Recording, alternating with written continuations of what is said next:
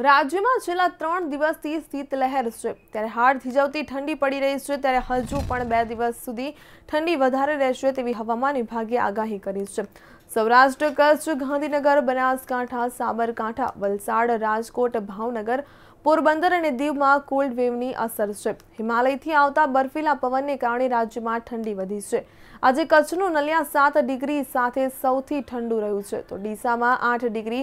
રાજકોટમાં 8.7 ડિગ્રી દીવમાં 8.5 ડિગ્રી ને વલસાડમાં 8.1 તાપમાન નોંધાયું છે જ્યારે કંડલા એરપોર્ટ પર 9 ડિગ્રી અમદાવાદમાં 9.8 ડિગ્રી